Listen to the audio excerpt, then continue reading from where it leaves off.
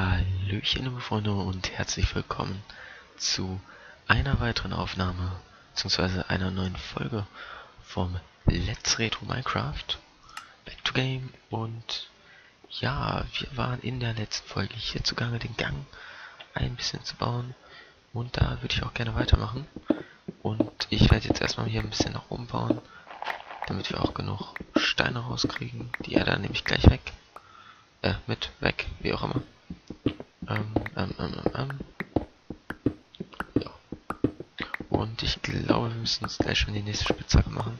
Aber das sollte nicht allzu schlimm sein. Ja, in der letzten Folge ging es um schöne Tage.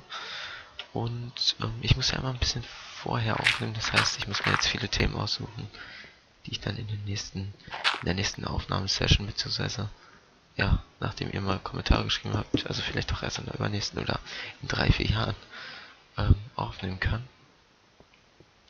Äh, mit einem Blöb. Die Kommentare nehme ich doch nicht auf. Nee, in der Aufnahme dann kann ich die Kommentare erst irgendwie ja, darüber reden oder sowas. Ja, ich würde es gerne jetzt schon machen, aber naja, so viele Leute schauen es ja jetzt nicht, aber ich mache es trotzdem hier auf YouTube, auch wenn es wenig Leute schauen, weil ich muss sagen, ich habe einfach Spaß dran. Und vielleicht schaut sich, äh, schaut es sich irgendwann mal jemand an. Und äh, selbst wenn es sich nur einer oder zwei anschauen. Ich meine, selbst wenn es sich einer anschaut, dann schaut sich einer an. Und ich meine, das ist ja eigentlich schon cool, wenn man weiß, man nimmt da was auf. Scheiße. Jetzt ist die. Jetzt ist die Axt am Arsch. Entschuldigung. Ähm. Ähm. Scheiße. Ah. So. Ja, also wenn man weiß, einer guckt sich das an, was man da fabriziert, einer guckt sich an, wie man spielt. Ich meine, das, das ist ja schon, stellt euch mal vor, hier sitzt einer neben euch, der euch die ganze Zeit zuguckt, der euch die ganze Zeit zuhört. Äh, ja, dann werdet ihr auch schon ein bisschen stolz drauf. Und ich, ich finde es einfach cool, dass man hier, ja, dass man sowas hier machen kann. So, das Pigment weg. Und ja, einfach diese Chance zu haben, hier was aufnehmen zu können, was hochladen zu können, dank YouTube, das ist schon Ups. Das ist schon ja einfach riesig. Ich finde das richtig toll, einfach ja Videos aufnehmen zu können und die hochladen zu können. Es macht mir sehr viel Spaß und mir ist eigentlich total egal, wie viele zuschauen. Hauptsache, ich kann ähm, ja aufnehmen und ich kann das machen, was mir Spaß macht. Und das ist eben hier einfach das Let's Retro aufzunehmen, Let's Play. Bald kommt ja jetzt auch noch, ähm, also wenn ihr das jetzt seht, ist es wahrscheinlich schon draußen, das ähm, Let's Play Cities Skylines. Und ich meine, ich habe einfach Bock drauf, äh, drauf, das zu machen, das zu Let's Playen. Und ich meine, wenn ihr keinen Bock drauf habt, wenn ihr euch das nicht anschauen gucken wollt, ist es nicht mal, äh, ist es nicht mein Problem, dann macht es einfach nicht. Ähm, ist mir egal, aber wenn ihr es euch anschauen wollt, dann seid ihr herzlich dazu eingeladen. Und ich freue mich über jeden, der das dann auch tut.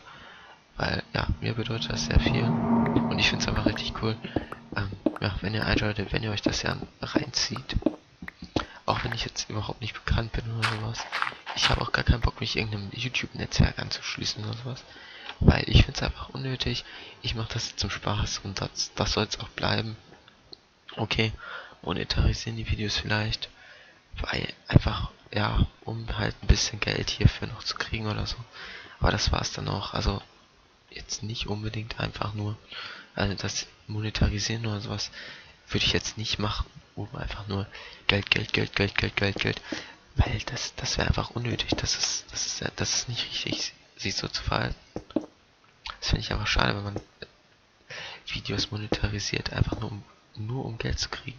Ich meine, okay, jetzt gerade bei Let's Plays immer Spiele kaufen und sowas, ist natürlich teuer. Und ja, wenn man dann, wenn man das dann mal macht, finde ich das auch komplett in Ordnung. Wenn man dann ja die Videos monetarisiert das, und das Geld dann dafür ja für neue Spiele oder so verwendet.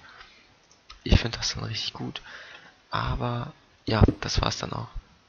Also für neue Spiele, aber oder Equipment halt, PC oder so. Aber für mehr braucht man es doch nicht. Ich meine ganz ehrlich, für was außer Spiele oder sowas, wenn man es wirklich macht, für was braucht man sonst?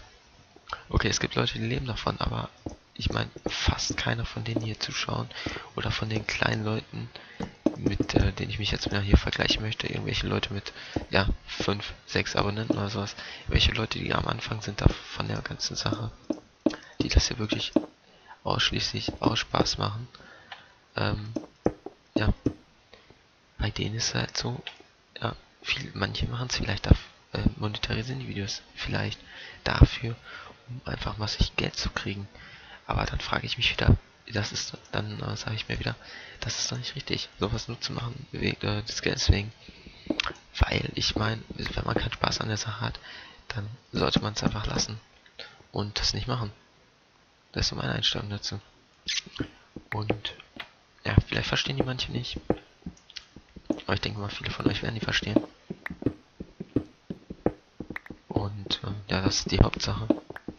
Dass man sich einfach mal so, ja, auch Gedanken vielleicht mal macht über das Ganze hier. Warum macht man sowas und so? Gerade wenn jetzt ihr Zuschauer selber solche Videos macht. Warum macht ihr die Videos? Macht ihr sie einfach nur, weil ihr, macht ihr sie, weil ihr Spaß dran an der ganzen Sache hier habt? Oder macht ihr sie, ja, einfach nur Geld, Geld, Geld, Geld, Geld, Geld, Geld? Das würde mich mal so interessieren. Jo, wäre mal schön, wenn ihr dazu was in die Kommentare schreiben würdet. Würde mich sehr darüber freuen. Ja. So, dann jetzt mal wieder hier zum Spiel. Ich werde den Durchgang hier werde ich lassen da vorne. Sieht nochmal. Genau so werde ich das machen. Hier den Weg runter kann man ja so lassen. Könnte ich hier theoretisch noch eine... Das, das mache ich auch. Kommt hier einfach eine Tür rein. Passt schon weiß dann von hier. Ah, bauen wir uns ein kleines Räumchen hin oder so. Muss ich mal schauen, ich mache das hier jetzt erstmal folgendermaßen. Und zwar so, dass hier keiner mehr hochkommt. Hier ist es ja jetzt eigentlich egal. Jetzt muss ich mal gucken, ob das oben mit dem Haus anpasst, wenn wir hier so einen Dreiergang haben. Aber sollte eigentlich genau mit den Wänden hinpassen. Äh, hinkommen. Dafür brauchen wir dann nur noch massig an Holz. Ja. Genau. Also das sollte dann... Ja, direkt kann ich den noch nicht so breit machen, aber nach einem Stück könnte ich den so breit machen. Oder ich lasse ihn halt da bis zu diesem Mittelteil eins breit. Das ging ja eigentlich auch. So, jetzt haben wir einiges an äh, Le Cobbler. So. Komm, machen wir es so. Erde habe ich hier noch gar nicht drin in der Kiste. Fällt mir gerade mal so auf. Ach komm, wir machen jetzt folgendes. Erde und Kobbel kommen komplett aus der Kiste heraus. Zwei, drei. Stein können wir hier ruhig drin lassen. Aber ich möchte halt sowas hier raus haben einfach. Machen wir das mal so, so, so eine Feder noch da rein. Hallöchen, Herr Skelett. Ja, und ich würde sagen, da draußen sind schon etliche Bäume jetzt gewachsen.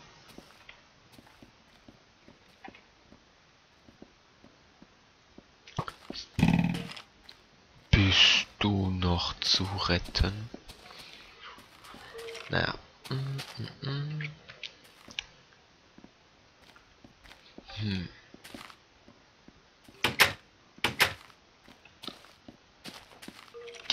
Es schon Steintreppen? Ja, Kobbeltreppen gibt's. Ich bin am überlegen, ob ich ab da Kobbel nehmen soll. Hm, machen wir das mal.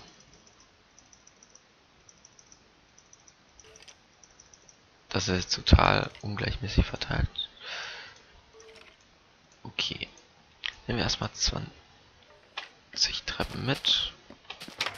Ja, doch, ist okay. Erstmal zum Ausprobieren. So, lauf, lauf, lauf, lauf, lauf. Und ich muss ja den Ton ein bisschen höher machen. Das könnten wir auf dem Rückweg schon mal machen. Dann können wir da in der Folge schon mal ein bisschen weiterarbeiten. Aber ich muss sagen, ich wollte eigentlich nur eben schnell eine Folge aufnehmen, weil ich jetzt, ganz ehrlich gesagt, heute auch mal nicht so viel Lust dazu hatte, hier irgendwie noch viel aufzunehmen. Dup, dup, dup, dup, dup, dup, dup, dup. So. Ich muss sagen, gefällt mir ganz gut. Da kommt hier noch eine Fackel hin. Dann ist der Gang auch erstmal ein bisschen beleuchtet. So, ich werde die Wände hier komplett aus Kobbel, glaube ich, bauen. Ja, doch. Komplett aus Kobbel. So, hier kommt der Spawner hin. Jetzt hätte ich gerade Glas mitnehmen können. Wie ich den ausbaue, wie gesagt, weiß ich noch nicht genau. Lasse ich erstmal so. Hm. Ah, das hier gefällt mir gut. Das könnten wir hier eigentlich auch so lassen. Wobei ich dann sagen würde, hier bauen wir uns eine kleine... Ups, Alter. Ich setze die Fackel erst erstmal hier hin. Dann würde ich sagen, um das hier gleichmäßig zu haben. Dup, dup, dup, dup, dup. Bauen wir uns hier so eine kleine Station oder so rein. Dann wird das ja später so aussehen.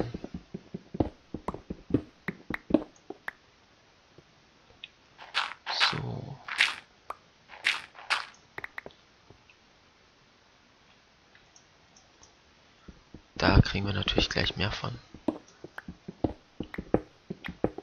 Von De Cobel.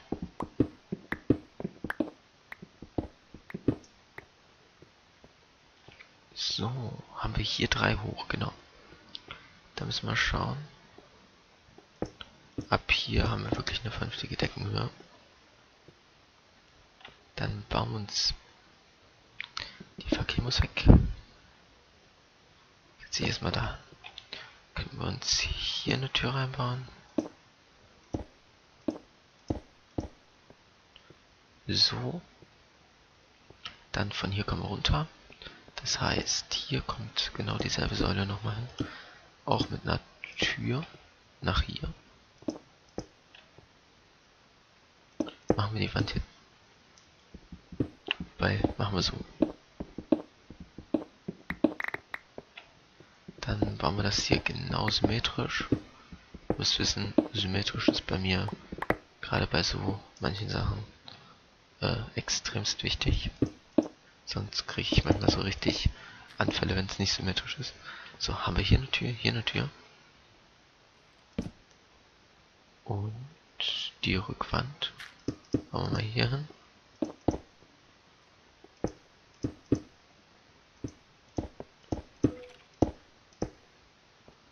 So.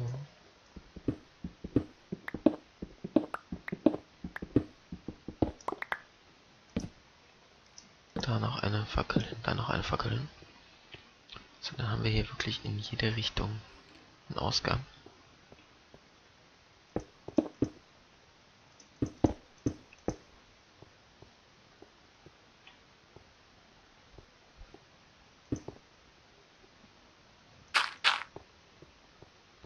So. Das sieht auch ganz gut aus.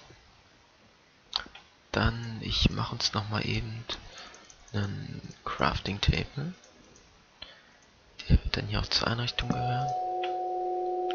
In dem Crafting Table machen wir uns mal ein paar Treppen. Super. Ich glaube, wir brauchen noch mehr. Ich packe die mal eben unten rein.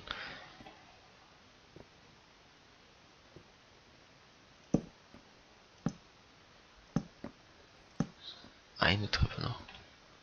Super. Und Dame 4. Die eine jetzt, jetzt gereicht. So. Was wir dann aber machen können, ist hier nochmal mit Holz ausbauen.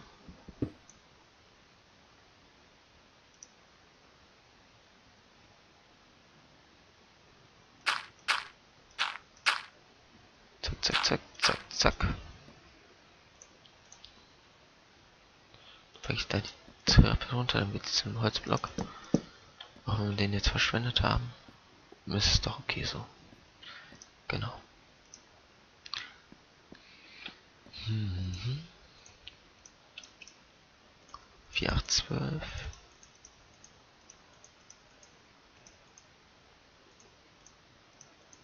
Genau. Das können wir schon mal zwei Türen. Äh, noch eine. Upsala. So, drei Türen.